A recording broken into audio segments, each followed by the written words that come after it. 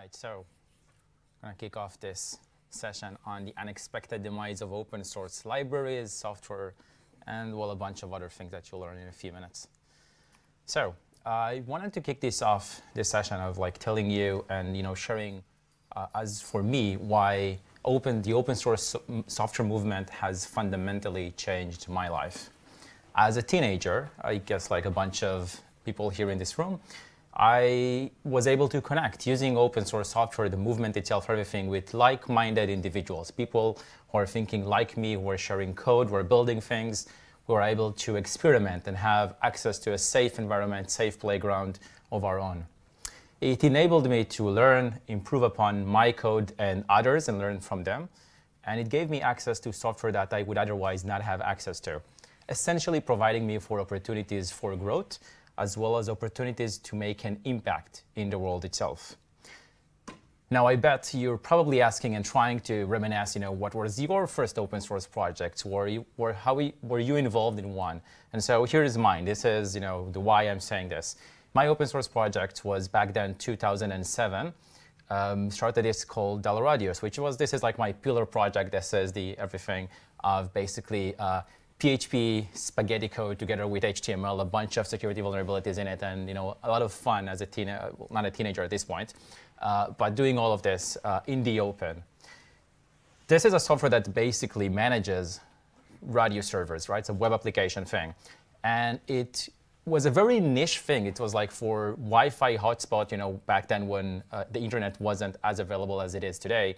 It allowed those uh, hotspot Wi-Fi systems to basically make make a living through essentially being able to provide this Wi-Fi service with, you know, printing a username and password and making this possible.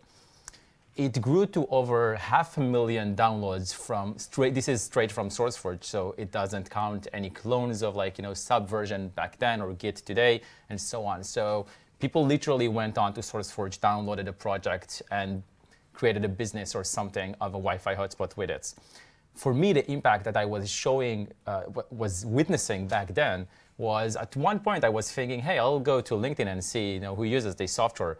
And it was amazing, essentially, to see people who had this as part, as part of their curriculum vitae, right? Like as part of their experience. Like they are now Radius operators. So this is how I made my, uh, my uh, uh, I would say, impact uh, but as you can see, we're talking about the unexpected demise of open source software, right? This is mine. This is my example. No different. I have stopped maintaining it after about five or six years. I'm no longer actively maintaining it. And you could see that obviously the SourceForge is also like less popular to these days. But it is essentially kind of unmaintained, deprecated. It lives off today of Git and GitHub, but it's not as maintained as it is. So how does that affect and impact every one of us? My name is Liran Tal. Thank you for coming to my session. I'm a developer advocate at Snyk, where we build developer tooling for developers, help them stay secure, all of those kind of things. I'm very active in open source related uh, movements, anything on the JavaScript ecosystem like the Node.js, OpenJS Foundation, OWASP, and things like that. Very happy to collaborate and share ideas uh, after this talk if you have anything about this that you're interested of. But really, why we're here is and how this is connected to licensing is an interesting perspective of you know, how open source kind of maybe, I think, perhaps just my opinion, but developed and like why it became so popular. From 2015, this is uh, usually people uh, in this conference show an up to the right growth of supply chain security vulnerabilities. Well, this is not that one, but it does show you an example of the proliferation of specific licenses in open source. And maybe perhaps an interesting insight here is the fact that the MIT license, which is known to be a very permissive license, is catching up a bunch of those projects. That bunch is specifically 45% of them. In a more recent study by Tidelift, which is another uh, company working with open source uh, maintainers and developers and you know, doing all of that, they actually cite that about 90% of projects with known licenses, yes, because there are some projects out there and libraries that do not have a license attached to them. That's a red flag.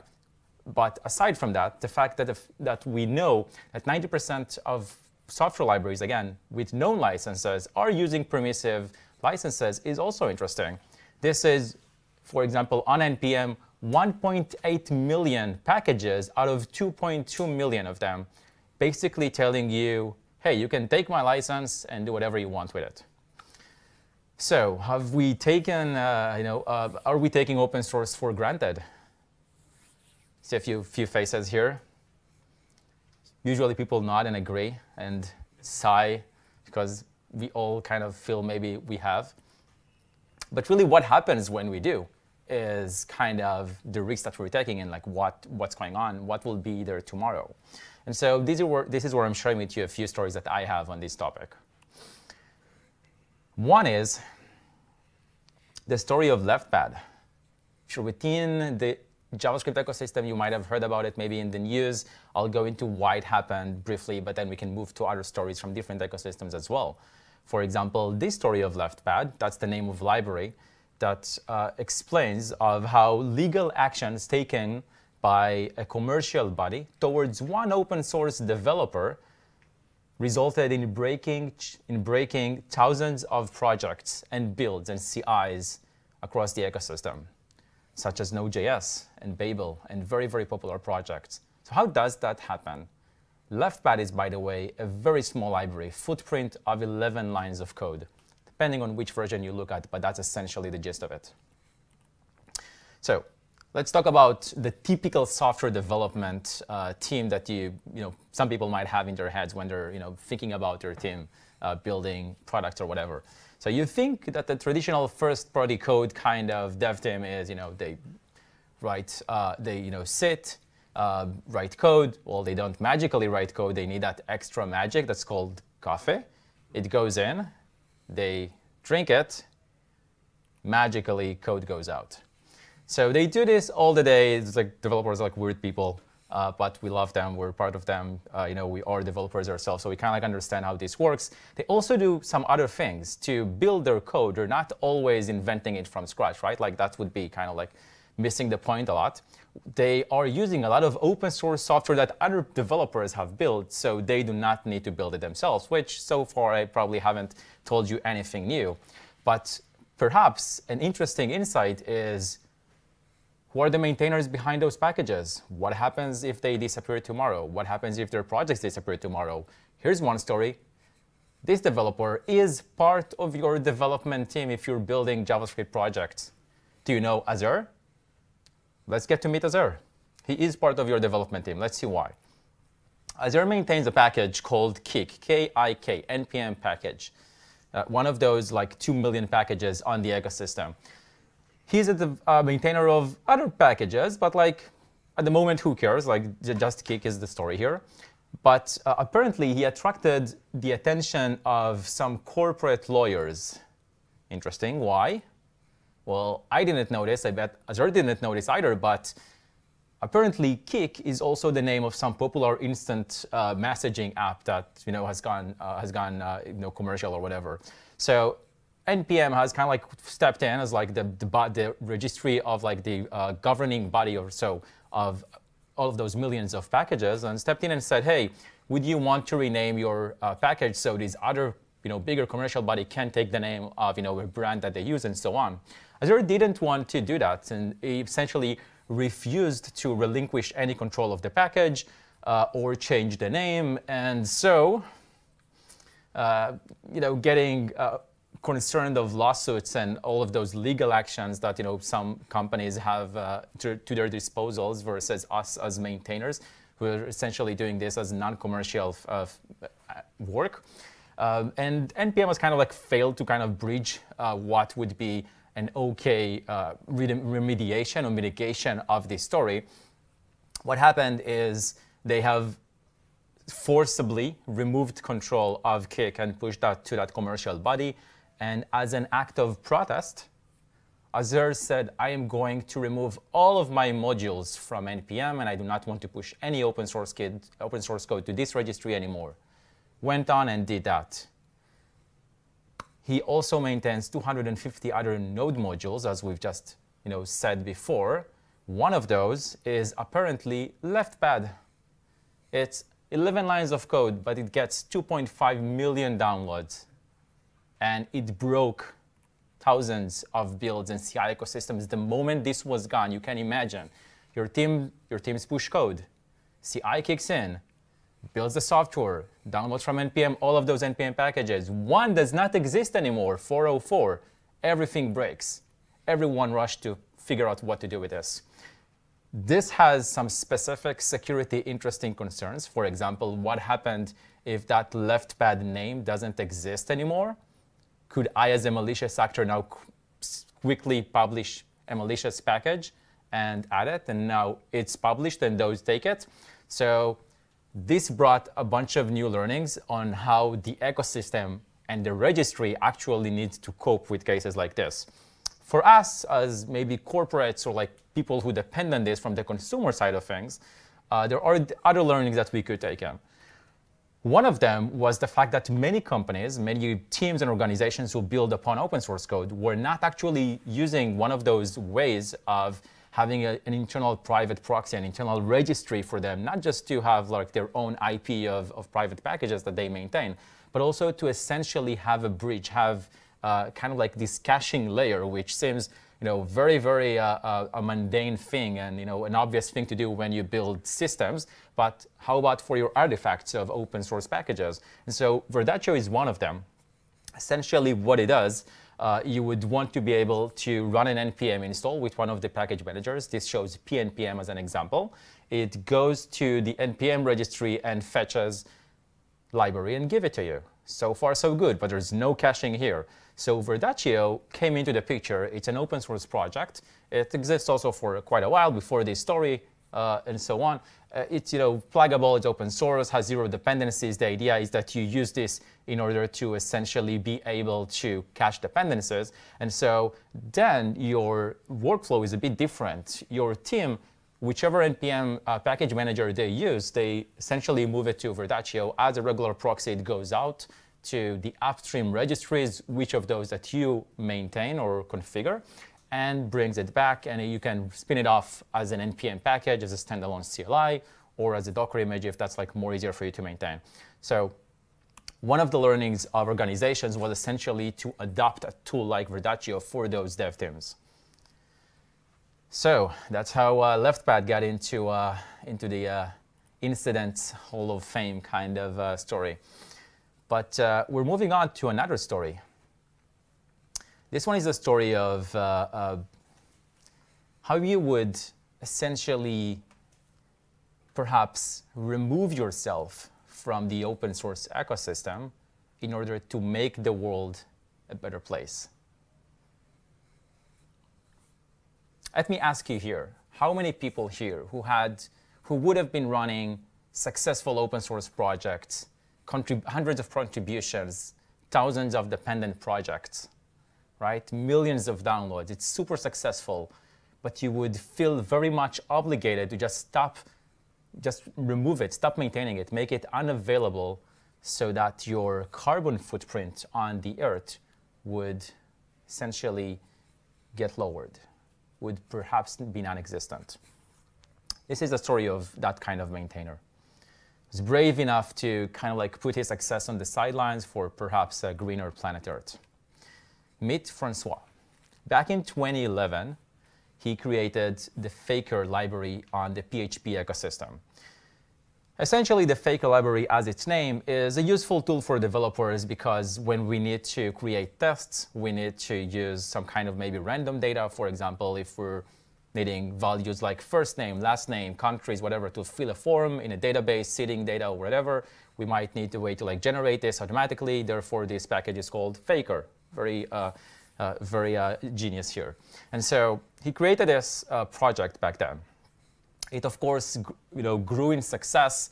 Uh, it became kind of like a, a very uh, popular project on the, on the PHP uh, uh, ecosystem. Uh, it got specific even extensions to Python and other kind of like SDKs in other languages, JavaScript included, which we'll talk about next. Um, and it had a bunch of like uh, contributions in terms of the data that it actually faked, right? So it grew in support of what it could fake. It could fake phone numbers and hello, hello messages in different languages. It really provided you, uh, you know, plethora of of strings or metadata that you could actually uh, use as, as a way to fake uh, data if you needed to.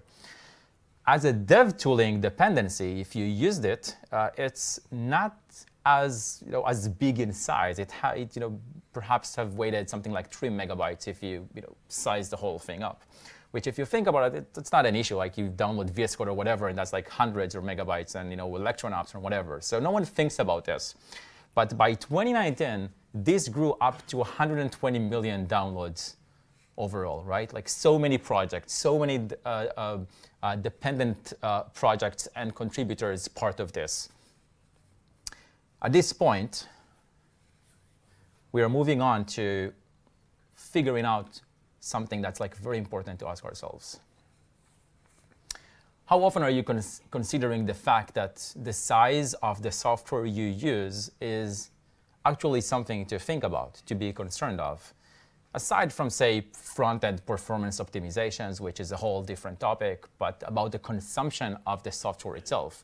We, some, we just mentioned the use of you know, Verdaccio and caching uh, registries for things like uh, you know, being able to have deterministic installs and no surprises on the network and stuff like that. But this wasn't due to the size overall. It was for other reasons. So here, Francois found this, uh, I would say, inefficient, problematic uh, uh, issues with his, uh, with his dependency.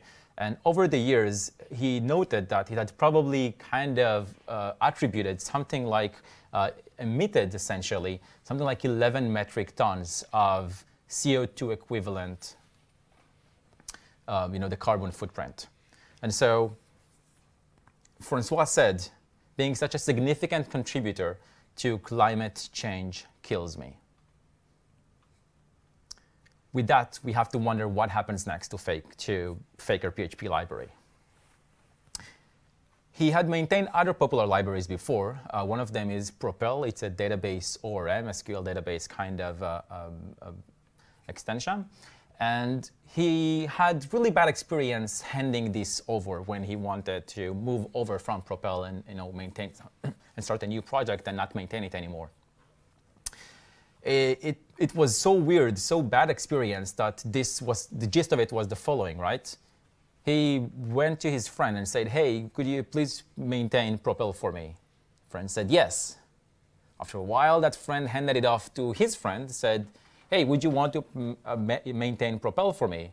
Said yes. That maintainer was like, hey, that code is shit. I'm going to rewrite it.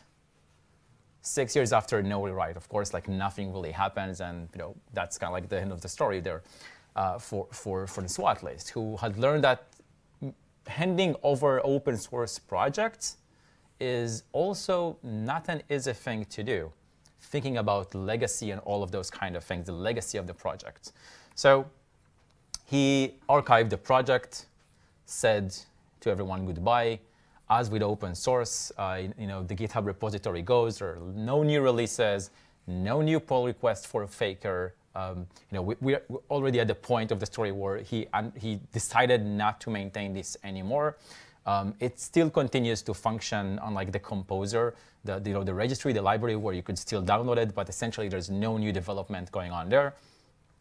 Um, and so kind of like he left it with the note of, you know, as, as it is with open source, right? People are still afraid to fork it, create a new project. Um, of course, if you do that, uh, you essentially, for Faker, for example, you lose all of the, uh, I would say, the currency of open source, all of the stars and the popularity and everything around it with GitHub and things like that. Uh, so this was also his ending note for new maintainers, right? Like hopefully uh, for them it works out better some learnings here. One is appreciating maintainers. They spend a lot of time. They try to figure out ways to be able to be you know, constructive to the ecosystem, but not just the ecosystem itself, but maybe to the planet as well, making things better. So perhaps helping support climate crisis is something we should all think about. Our third and last story for today is going to be a recent one that had also caused a lot of breakage and uh, interesting different uh, opinions from the ecosystem of different, uh, different folks, depending uh, you know, where, where you're coming from exactly there. So we are all using open source software here. how many times have we considered about giving back? Right? What are we giving back? And I uh, was in a few talks in this, uh, you know, in the morning here in today, today's sessions, and I've heard about, you know, open source transparency, funding. There's a lot of, you know, issues there. I was at uh, uh, uh, talk about the role of open source foundation and how they help and the whole, you know, money, uh, you know, perspective of it there. This isn't an easy one, but it's a struggle for many, many maintainers. Unlike the other stories, though, I mean, some might have an ending, uh, might have had a good ending story. I promise this one has a positive, happy ending. Okay, so meet Mr. M. Uh, he's known today as Mark, so I, I could I will probably uh, you know iterate between those two titles.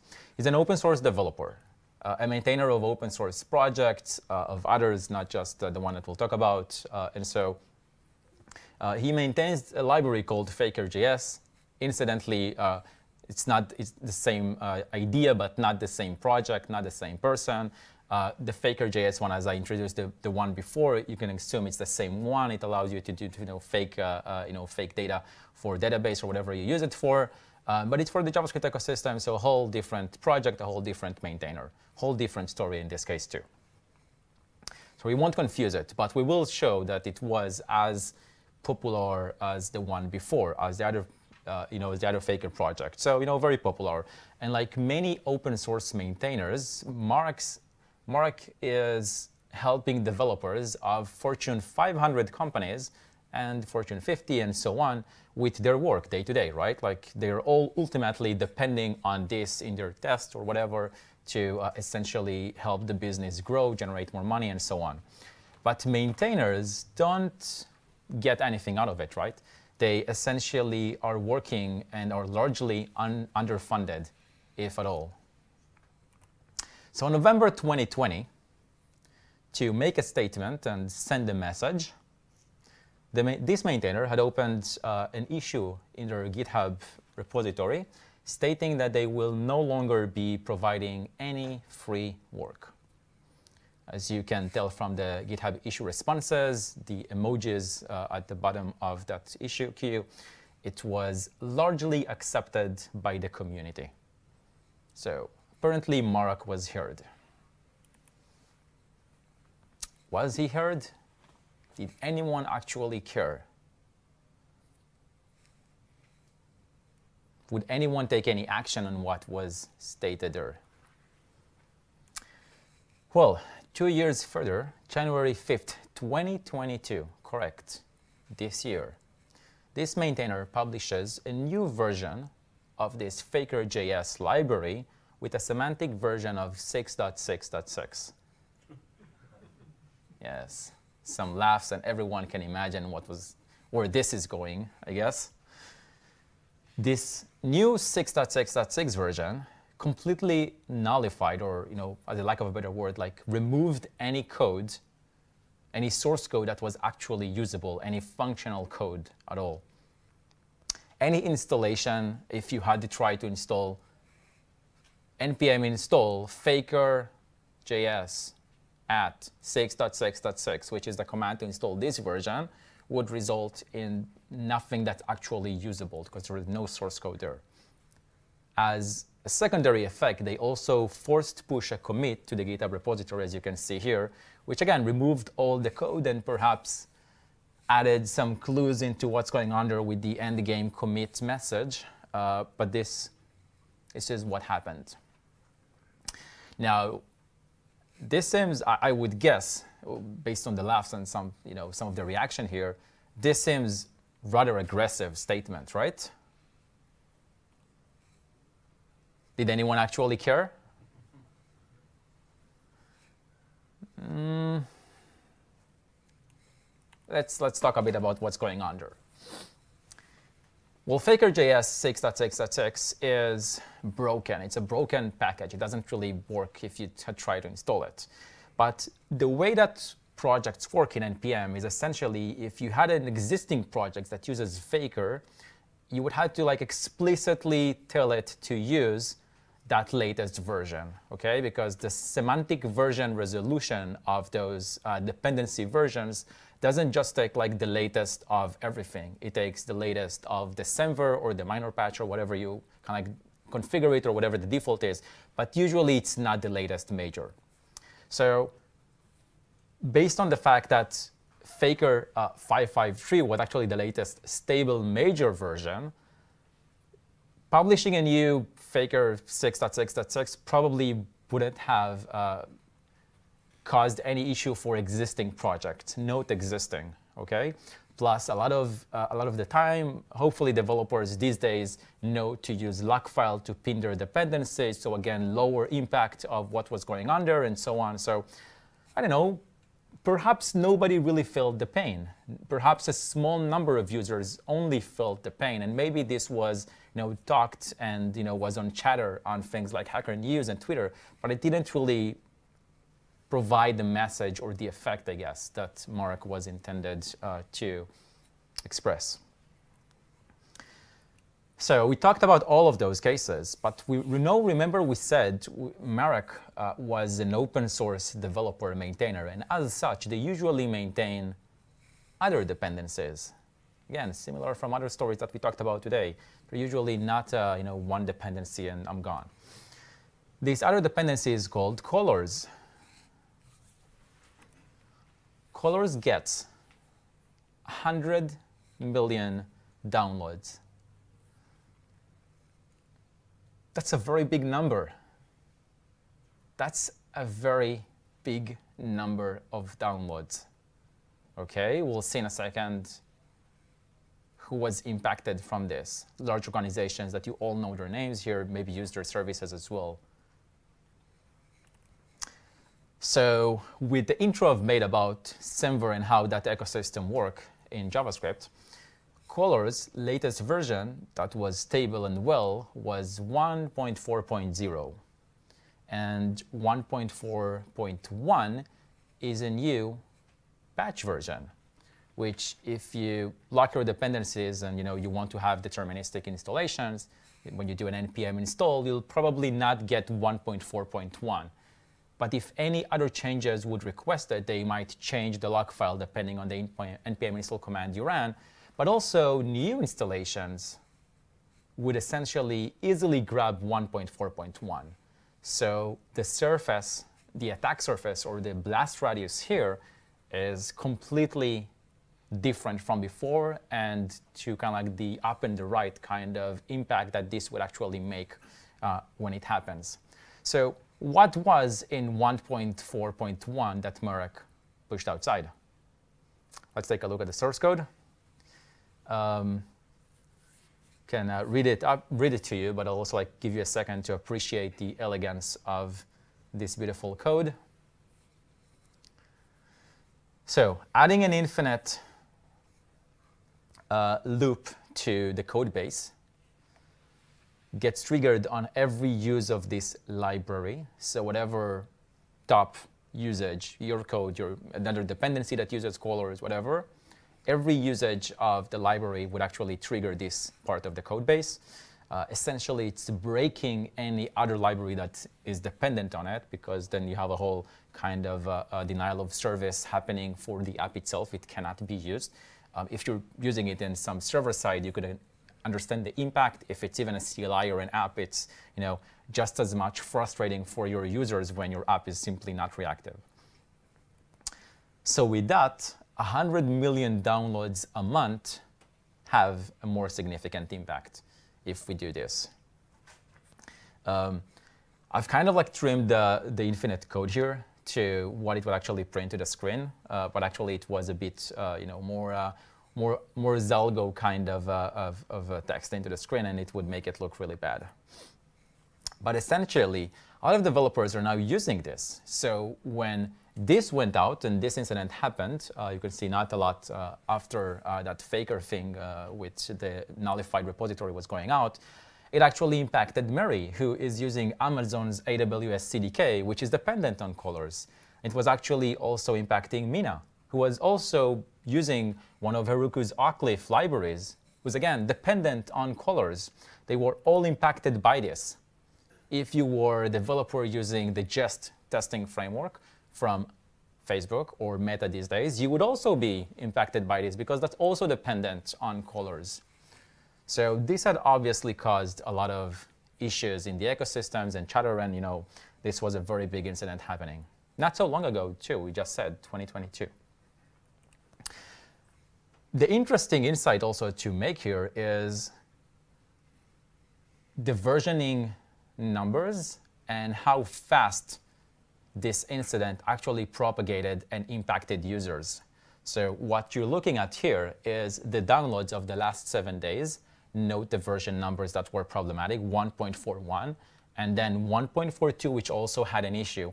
Uh, Marak specifically also added that denial of service code to other parts of the code.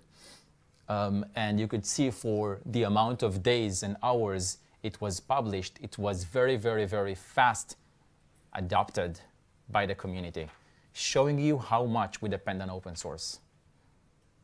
Very much. So maybe some learnings here.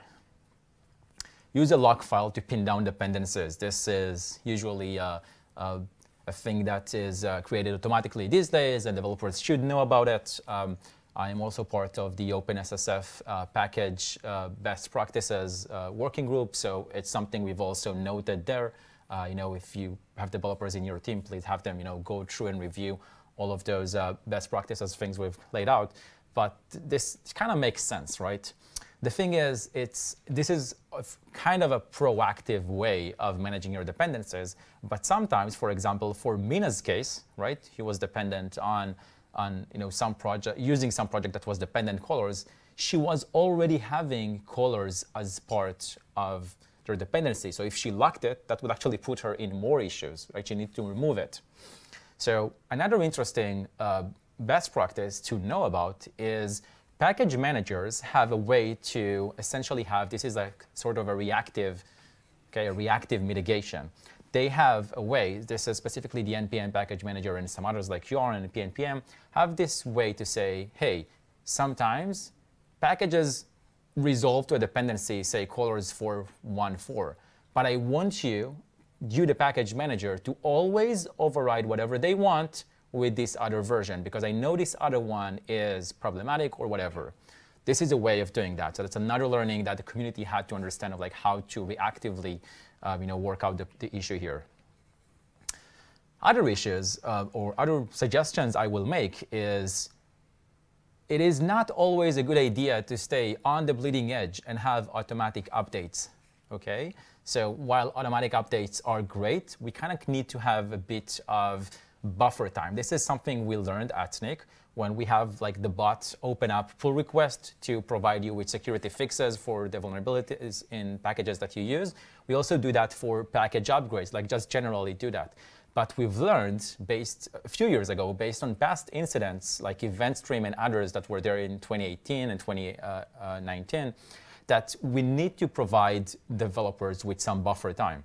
So essentially, what we want to do is say, hey, you've seen how fast 1.41 and 1.42 were having thousands and tens and hundreds of thousands of downloads.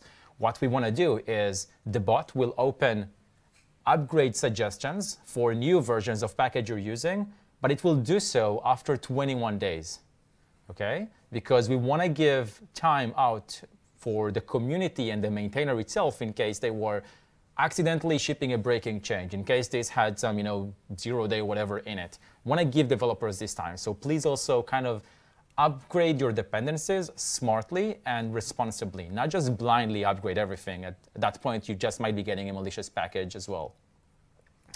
So I promised a fairy tale ending. What happened with Faker, going back to Faker, not colors, but uh, with Faker, what happened is the following. The community had amazing group of heroes stepping up and saying, hey, Faker is a very popular project. This is, again, Faker.js, uh, very popular project. We still want to you know, use it. We, you know, it really helps us. We use it at the company and whatever. And so they kind of like uh, organically formed up and said, hey, let's create a new Faker JS organization, a scoped, you know, a scoped kind of like registry entry. It's a new entity. They forked the all the work that uh, Marak was actually uh, doing at the original Faker library. So all of his contributions are still attributed and part of the source code. And they've created a whole new project in GitHub repository to um, you know, maintain that Faker functionality. So this exists. Amazing, amazing work to all of those heroes who made that possible for everyone else. Maybe a few more thoughtful kind of like learnings as we reach the end of this, uh, uh, the end of this talk. One is uh, think about open source due diligence when you use software, right? It, it, sounds to an extent a bit obvious, but as developers, we usually adopt packages by the by the blog post that says, hey, I use this and that for my tutorial. We copy paste, we use it. My friend from a different company, my colleague, the other team, whatever, it kind of works like that. And maybe at times you search for something like say, say you'd search for request, which is a popular open source library uh, for, uh, for, in JavaScript for doing HTTP client-side requests. It's like the browser's fetch or whatever uh, existed before it, so obviously it was needed.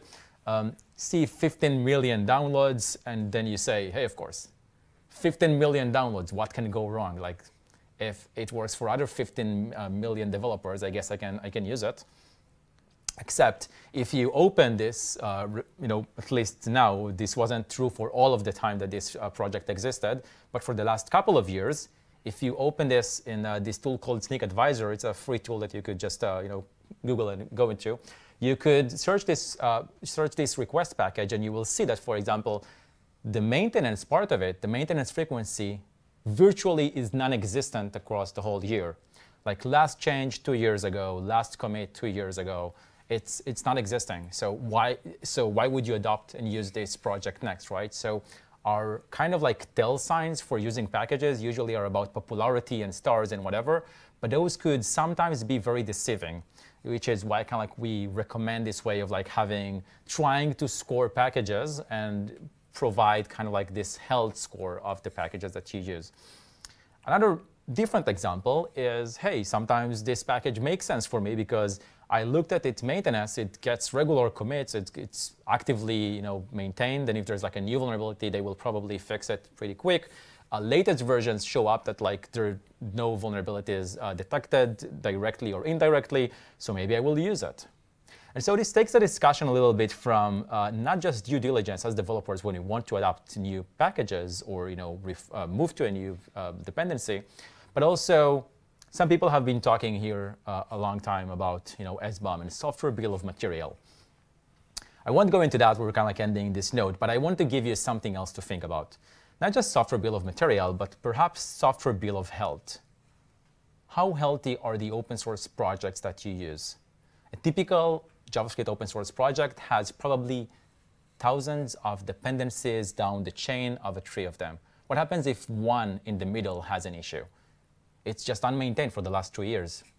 What can you do about it? You can't blame the open source developer, the maintainer itself. They are literally volunteering their time to help you do whatever you need. So think about this a little bit and let maybe that sink in. So open source is great. Just don't forget. The only things that last forever are dependencies. I guess not. Um, air miles, I checked because I flew uh, in uh, you know, a couple of times after COVID. They don't last forever either. Trust me. Uh, cat videos on YouTube do last forever. That's for the sake of every one of us here. So with that said, you know, open source software is awesome. Have fun with it. Uh, if you have any questions, I'm here, and thank you for listening to my talk.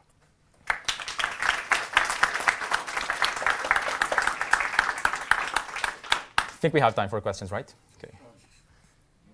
Yeah, yeah, of course. I'm just checking if this works. Um, the White House published yesterday um, a document by the OMB based on uh, Joe Biden's executive order on supply chain. And one of the things they are talking about is self-attestation.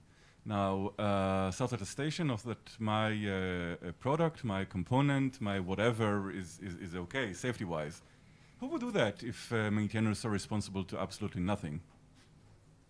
So maintainers uh, are, are not uh, are not a concern in the, in the organization itself for absolutely nothing before that order it's, itself, right? They literally tell you if you're using an open source package uh, with an MIT or Apache license, you are free to do with it whatever you want. I do not take any responsibility for it. So regardless of that document, maintainers are not you know, the person to reach out to or put the blame or demand on. You're, you're effectively just making the matters worse when we're demanding more and more from maintainers and essentially giving nothing to help support them.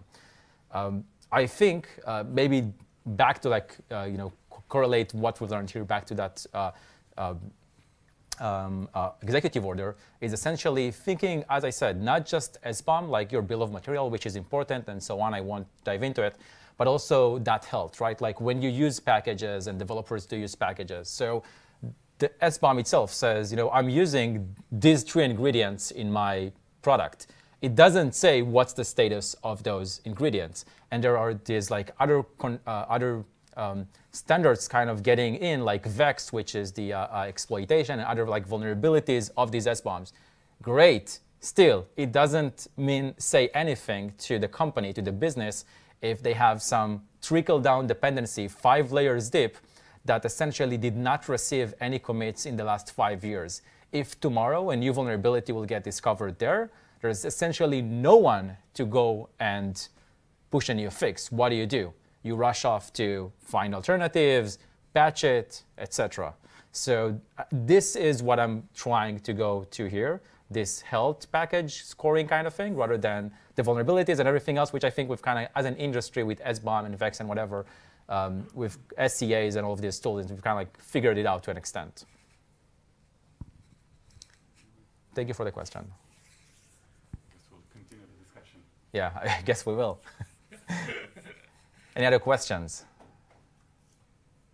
So I ask about lock files. Yes, uh, lock files. Yes. Yes. Now, technical question. But mm -hmm. uh, uh, often if you lock the dependencies and, and, and the, the, the upstream uh, uses something which is a bit uh, more advanced, wouldn't you break uh, your own code?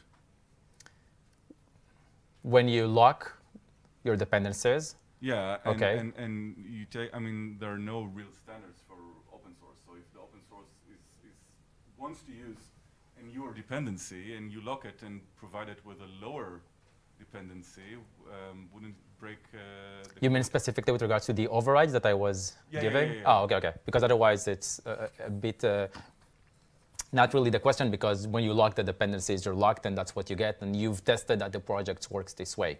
Um, so with the overrides, yes, you essentially have to you essentially have to uh, um, know that you're not breaking it. Uh, to to an extent, it's not that much of an issue because if you're if you're overriding it, it's most like 99% with a reason, and you know you're you're overriding it with locking it to a to a stable uh, a stable version. Like you know what works. Usually, the community also like knows what to recommend if you need to override it. So that's not much of an issue, and I think also Semver is a is kind of like a, a a practice that usually works I will say TypeScript has shipped some versions with uh, minor changes that were breaking changes. But overall, um, you know, the ecosystem, uh, of course, like this is might be different for like Java or Ruby or whatever. But for JavaScript, we kind of know how Semver works, and we can, to an extent, depend on it. It's still semantic and not really anything explicit. So you kind of like take it with a grain of salt. Hi, cheers. Um, great talk. Uh, Thank you. Um, I was going to say I was a little bit sad about your happy ending in that uh, it wasn't really a happy ending for Marak, and that that kind of gets me onto a point that I. Oh, thank you. Uh, I think one point that you've missed. I, I, think you you had some great advice for consumers, but I think the one thing that, to my oh god, I'm steaming up. Uh, the one thing to my mind that was missing was to fix the problem at source. You have to help the maintainers, and this is almost like in response to your question, where you're getting a little bit frustrated that maintainers are washing their hands of of some implied obligation. They don't have an obligation, implied or otherwise. I, as consumers, I feel we have the implied obligation to help the maintainers. So if there are security issues, we should be, rather than pointing at them, we should be helping them. I am 100% with you on that. Uh, I'm a maintainer myself, and I have a lot of friends who maintain software. Uh, there would be no one else more uh, excited and appreciative of any of that working out uh, amazing for everyone else. Uh, the issue essentially is that it's not as easy to fix. When that happened as a community for you know communities that I live in, I've actually raised the topic and asked what we can do. Some interesting ideas were, by the way, doing something like uh, bug bounties for security, but actually for uh, for issues or features. So if if you wanted something to get developed, you could say, hey, this is my issue. I've put you know hundred dollars whatever around it, and if you can like build it or whatever contributors uh, build it, they get it. Uh, it's something that we drive through the platforms. There are a lot of pe people here from like Open Collective or uh, or like GitHub funding uh, and sponsors and stuff like that. Like the, the ability to fund maintainers has existed for a while. It's just like not happening to an extent where it's actually uh, you know fruitful for them. So uh, it's not that we need to like raise awareness of like helping maintainers. Like I think everyone know they should do it. We're still not doing it as like top level organizations, and I think that's a that's that's a problem that we have yet to send a good fix for. We have to stop, I think, right? You gave me like the stopping, but I'm, I'm here like let's talk. So. Yes, we can do that. Thank you so much. Thank you, everyone.